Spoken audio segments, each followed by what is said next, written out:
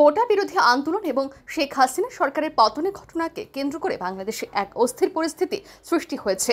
এই অস্থির পরিস্থিতির সংবাদ সংগ্রহ করতে গিয়ে এখন পর্যন্ত সমাজদ্রোহীদের হাতে পাঁচজন সাংবাদিক নিহত হন, আহত হন একশো জনেরও বেশি সাংবাদিক। বাংলাদেশে সাংবাদিকদের উপর এই ধরনের হামলার ঘটনা তীব্র প্রতিবাদ জানিয়েছে আগরতলা প্রেস ক্লাব। রবিবার আগরতলা প্রেস ক্লাবের সদস্যরা প্রেস ক্লাবের সামনে এক বিক্ষোভ কর্মসূচির আয়োজন করে।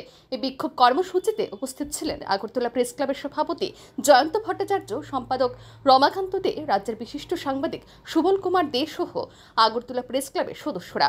এই কর্মসূচি প্রসঙ্গে জানাতে গিয়ে আগরতলা প্রেস ক্লাবের সভাপতি জয়ন্ত ভট্টাচার্য জানান, পেশাগত দায়িত্ব পালনের স্বার্থে বাংলাদেশের অস্থির পরিস্থিতির সংবাদ সংগ্রহ করতে গিয়ে দুষ্কৃতিকারীদের হাতে পাঁচজন সাংবাদিক খুন হয়েছেন। আহত হয়েছেন একশো জনেরও বেশি সাংবাদিক। সাংবাদিকদের উপর এই ধরনের আক্রমণের ঘটনা প্রমাণ করে মানুষের তথ্য জানার অধিকারের উপর হস্তক্ষেপ করা হচ্ছে। সাংবাদিকদের উপর আক্রমণের ঘটনায় জড়িতদের অবিলম্বে গ্রেপ্তার করা দৃষ্টান্তমূলক শাস্তি প্রদানের দাবি জানান তিনি। পাশাপাশি অবিলম্বে এই ধরনের আক্রমণ বন্ধ করার দাবি জানান তিনি। এই রকম অস্থির পরিস্থিতি চলছে তখন সাংবাদিকরা সেখানে কভার করতে গেলে বিভিন্ন সময়ে তাদের ওপর নানাভাবে অত্যাচার নামিয়ে আনা হয়েছে এবং যারা এই ষড়যন্ত্র করছে হ্যাঁ তারা পাঁচজন সাংবাদিককে হত্যা হত্যা করেছে এবং একশো জনের ওপর সাংবাদিককে আহত করেছে। তো আমরা মনে করি যে এটা মিডিয়ার ওপরে একটা আক্রমণ।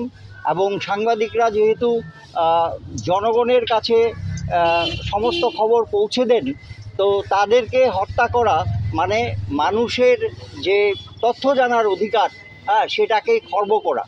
তো আমাদের পার্শ্ববর্তী দেশে এই রকম ঘটনা ঘটছে এবং আগরতলা প্রেস ক্লাবের সদস্যরা এর তীব্র প্রতিবাদ করছে এবং এই ঘটনার প্রতিবাদে আজকে আমরা একটা বিক্ষোভ সমাবেশ এখানে করছি এবং আমরা দাবি তুলছি যে যারা সাংবাদিকদেরকে হত্যা করেছে তাদের আমরা বিচার চাই এবং অবিলম্বে সাংবাদিকদের উপর যে অত্যাচার চলছে হ্যাঁ সেটা বন্ধ করতে হবে। এই বিক্ষোভ কর্মসূচিতে অংশগ্রহণ করে আগরতলা প্রেস ক্লাবের সভাপতি জয়ন্ত ভট্টাচার্য আরও বলেন, ইতিমধ্যে সাংবাদিকদের একাধিক আন্তর্জাতিক সংগঠন এই ঘটনা তীব্র প্রতিবাদ জানিয়েছে।